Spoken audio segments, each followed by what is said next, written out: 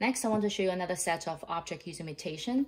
Um, we use this a lot in school, and this is a great program to teach kids how to play with new toys.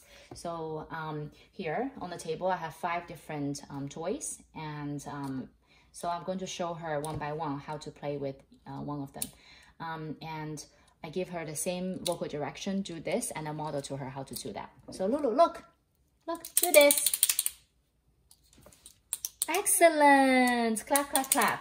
All right, so I got this huge mental slinky and Lulu, look. Yay, do this.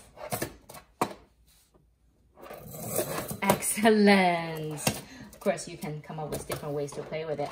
And um, a little sheep. Wow, do this. Woohoo! Here you go. You did it! Isn't that fun? And um, this is my pet. Yes, do this. Aww, nice petting her.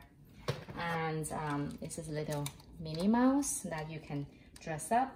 So um, this is her little outfit and um, you can change different outfits. You can take this apart and teach her, Lulu, look, do this.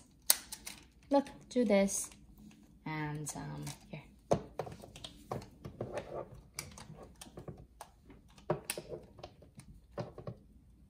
Oh, it's a little difficult to put on, right? Okay. Or you can give her a different um, piece of clothing and ask her to put on. Look, Lulu, do this. There you go. Great job. High five.